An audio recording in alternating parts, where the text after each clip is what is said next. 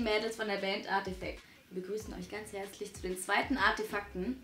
Erst einmal ein ganz großes Dankeschön an euch für 100 Likes. Bleibt am Ball, macht weiter so. Sehr gut.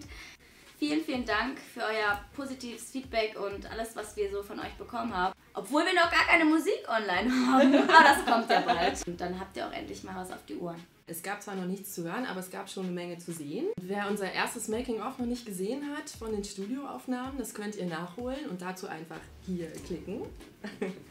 Am 13.12. werden wir auch ein zweites Making-of noch veröffentlichen, was wir euch natürlich nicht vorenthalten wollen. Abonniert einfach den YouTube-Kanal von Artifact und bleibt am Ball.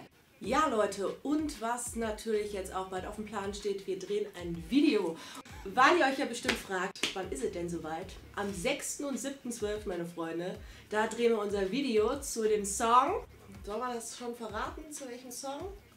Besser nicht. Nein, verraten wir nicht. Wir wollen, dass wir noch interessant bleiben. Die so. Spannungskurve ist die- gerade am die Anfang. Spannungskurve, die ist gerade hier. Wir verraten es nicht. Also müsst ihr noch ein bisschen dranbleiben bei uns. Bleibt einfach an dem Tag selber, am besten vor eurem Handy.